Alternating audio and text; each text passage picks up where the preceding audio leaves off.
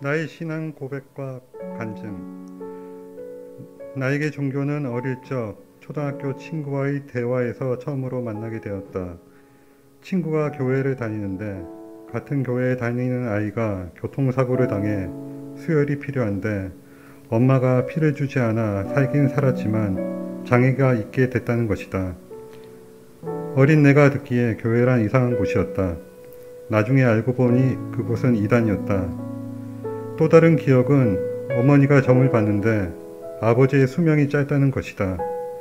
용하다는 점쟁이의 처방은 절에 종을 기증하라는 것이었다. 스님들이 아침 저녁으로 그 종을 치고 아버지의 수명도 멀리 퍼지는 종소리처럼 길어질 것이라는 이 처방은 무교였던 우리 집을 자연스럽게 불교 집안으로 만드는 계기가 되었다.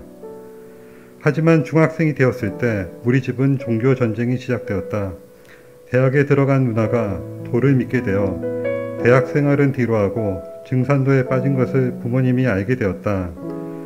누나를 이해하지 못한 부모님과 누나와의 전쟁, 종교 전쟁은 대립과 휴전의 반복으로 이어졌고 누나가 대학 졸업 후 증산도 안에서 중매 결혼을 하며 집을 떠남으로써 끝이 났다.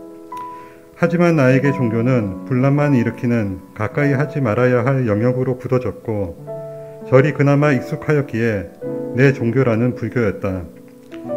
대학에 들어간 나는 어릴 때의 영향과 당, 당시 시대 상황 때문에 사회과학, 사회과학 서적을 읽고 사회 문제에 분노를 표출하는 암울한 청년기를 보냈다. 불신앙의 인생을 살던 나를 변화시킨 건 대학 때 만난 아내였다. 아내는 모태 신앙이었지만 결혼 후에도 특별히 나를 전도하려 애쓰지 않고 기회 있을 때마다 교양 강의를 들으러 가자며 근처 교회로 인도하기 시작했고 그렇게 종교에 부정적이던 나는 가랑비에 옷 젖듯 교회라는 곳에 점점 익숙해, 익숙해져 갔다. 삶의 변화는 외부에서 시작되었다. IMF의 여파로 힘겹게 버티던 회사가 공중분해되었고 그 후 나의 선택은 이직이 아닌 자영업의 길이었다. 의욕만 충만하고 경험 부족인 나에게 성공이라는 타이틀은 먼 얘기였다. 내 뜻대로 되지 않고 실패만을 거듭하던 나는 시리에 빠졌다.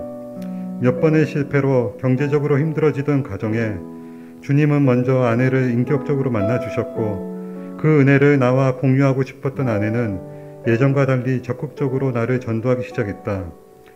처음 참여한 곳은 교회가 아닌 공, 목장 공동체였다.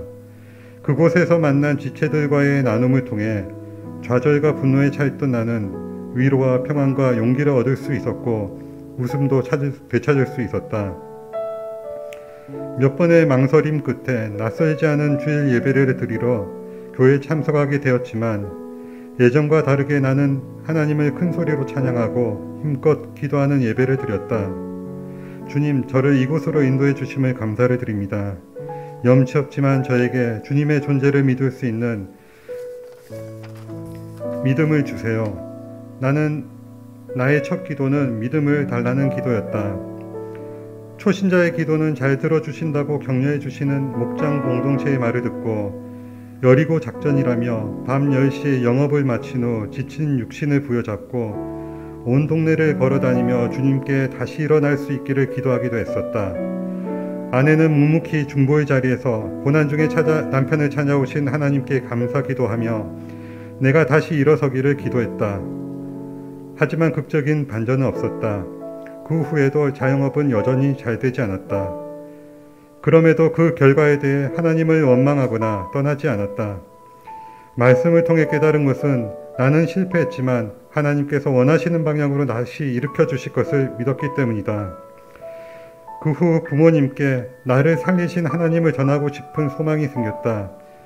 몇 번을 권유하는 나의 말은 한 번만 더 교회 얘기 꺼내면 부자의 연을 끊겠다며 찾아오지 말라는 모진 말로 돌아왔지만 하나님의 은혜로 두 분 모두 예수님을 영접하고 그 다음에 침례를 받으시는 기적을 경험하기도 했다.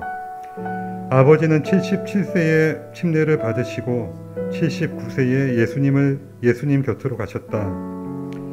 나는 내가 결정한 방향으로 하나님께서 축복해 주시길 바라던 기복적인 신앙이었다. 하지만 하나님께선 세상의 성공과 실패로 허우적대던 나와 같은 죄인을 은혜의 자리로 부르시고 자녀, 자녀 삼아 주셨을 뿐 아니라 예수님을 보내주셔서 나의 죄를 위해 십자가에서 죽으심으로 나의 죄를 사하여 주셨다. 이 구원의 감격을 내 삶의 기둥으로 삼고 매일을 감사하며 살고 있다. 내 삶의 주인은 나였고 내가 죄인이었음을 채, 철저히 깨닫고 회개하게 하셨다. 이 모든 것은 예수님의 보혈이 아니었다면 얻을 수 없는 은혜이다. 지금은 믿음이 하나님이 주시는 선물임을 알고 있다. 그 의지나 노, 내 의지나 노력으로 생기는 것이 아니라 하나님의 전적인 은혜이다. 오랜 망설임 끝에 시작한 제자 훈련이지만 하나님께서 이 기회를 통해 죄인된 나의 모습을 돌아보게 하시고 은혜의 보좌 앞으로 나아갈 수 있도록 인도해 주신다. 이 모든 영광을 살아계신 하나님께 올립니다.